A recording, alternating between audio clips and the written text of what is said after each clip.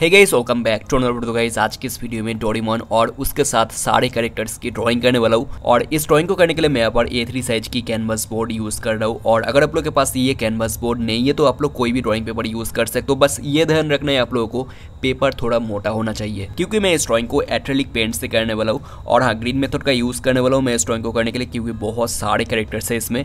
और आप लोग भी इस ड्राइंग को ईजिली कर पाओ, इसलिए मैं यहाँ पर ग्रीन मेथड का यूज़ करने वाला हूँ। तो सबसे पहले ये डिफरेंस फ़ोटो विद ग्रीड लोगों को नीचे डिस्क्रिप्शन से डाउनलोड कर लेना है। उसके बाद यही सेम ग्रेड लाइन्स अगर हमें ए थ्री साइज़ की कैनवास बोर्ड नहीं तो ड्राइंग पेज के ऊपर हमें बनाना है। तो हमें तीन सेमी छोड़ छोड़ के चार तरफ़ मार्क करना है। ए थ्री साइज़ की कैनवास बोर्ड नहीं तो ड्राइंग पेज की चारों साइड में। तो मैं फटाफट से वो चीज़ कर लेता हूँ।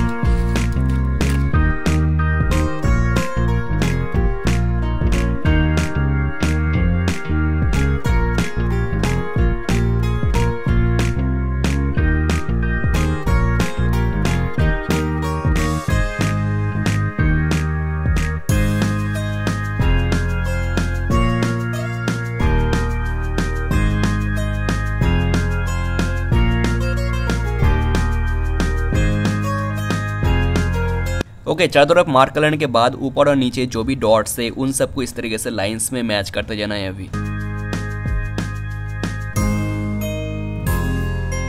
सेम अभी ऑपोजिट साइड में भी कर लेना है।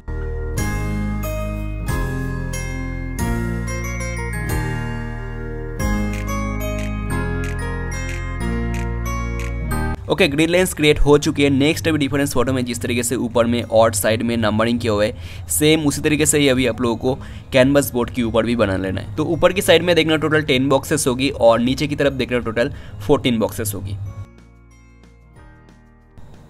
ओके नेक्स्ट अभी हमें ड्राइंग को स्टार्ट करना है तो मैं इस ड्राइंग को डोरीमोन से स्टार्ट करूँगा, क्योंकि डोरीमोन सबसे आगे है, देख सकते हो आप लोग। उसके पीछे देखो नोबिता और सिजू का है तो वो दोनों को उसके बाद ड्रॉ करना है एंड देन जियन को ड्रॉ करना है, और लास्ट में सुनियो को ड्रॉ करना है, क्योंकि वो सबसे पीछे है। तो मैं इस ड्रॉइंग को डोरीमोन की नोज़ से स्टार्ट करना चाहता हूँ तो ऊपर से आप लोग देख सकते हो, वो फिफ्थ नंबर बॉक्स पर है और साइड से आप लोग देख सकते हो, वो नाइन्थ नंबर बॉक्स पर है। और इसी चीज़ को हमें अभी ड्राइंग पेज में भी फाइंड कर लेना है। तो ऊपर से एक, दो, तीन, चार, पाँच और नीचे से, यानी साइड से दो, तीन, चार, पाँच, छः, सात आठ, नौ। सो यहाँ से हमें ड्राइंग को स्टार्ट करना है। तो बस इसी तरीके से कौन सी बॉक्स में आई है, कौन सी बॉक्स में नोज़ है, कौन सी बॉक्स में लिप्स है फाइंड करते जाना है और ड्रॉ करते जाना है। बाकी आप लोग अभी देखो मैं किस तरीके से कर रहा हूँ। एंजॉय द वीडियो और हाँ जिसको भी नहीं पता है आर्ट कॉम्पिटिशन की रिज़ल्ट कुछ दिन बाद आने वाला है क्योंकि बहुत सारे एंट्रीज हुई है ऑलमोस्ट थ्री थाउज़ेंड की ऊपर है और मेल चेक करने की लिमिट एक दिन में तीन सौ से चार सौ ही है। तो अभी आप लोग समझ सकते हो, इसलिए लेट हो रहा है। ऑलमोस्ट मैं one point five K drawings download कर चुका हूँ। तो प्लीज़ थोड़ा दिन और वेट कर लो। जल्दी आर्ट कॉम्पिटिशन की सारे वीडियोस आ जाएगी। Okay now enjoy the video.